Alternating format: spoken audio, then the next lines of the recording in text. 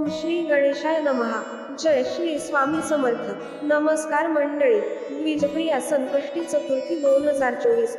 फाल्गुन महिन्याची द्विजप्रिया संकष्टी चतुर्थी अठ्ठावीस फेब्रुवारी दोन हजार चोवीस रोजी आहे. या दिवशी बुद्धी ज्ञान आणि बुद्धी देणाऱ्या गणपतीची विशेष पूजा केली जाते. हिंदू धर्मात गणपतीला प्रथम उपासक मानले जाते. त्यांची पूजा केल्याने जीवनातील सर्व अडथळे दूर होतात. द्विजप्रिया संकष्टी चतुर्थीच्या दिवशी गणपतीसाठी काही विशेष उपाय करा असे मानले जाते की यामुळे रोग आणि दोष दूर होतात. घरात आनंद येतो.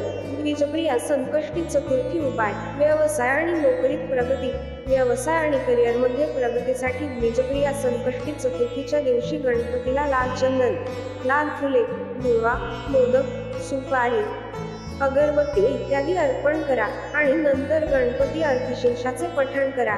संपत्तीत वाढ आर्थिक स्थिती कमकुवत असेल आणि कर्ज फेडण्यात अडचणी येत असतील तर संकष्टी चतुर्थीला तीन दिवे लावा आणि ओम. गगन गणपते विघ्न विनाशिने स्वाहा या एकवीस जपमाळांचा जप करा. असे मानले जाते की यामुळे तुम्हाला अडथळ्यांपासून मुक्तता मिळेल आणि तुम्ही लवकरच कर्जाची परतफेड करू शकाल.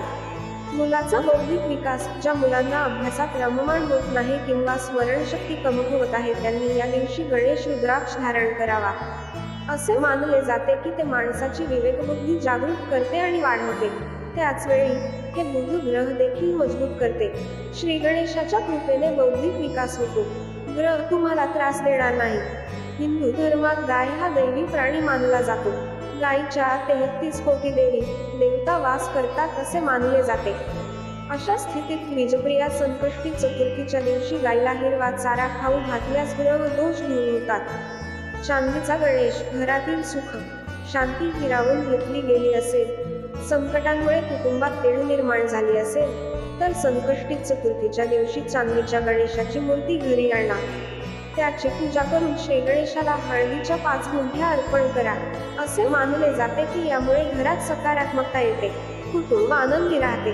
अशाच नवनवीन माहितीसाठी चॅनलला सबस्क्राईब करा. धन्यवाद.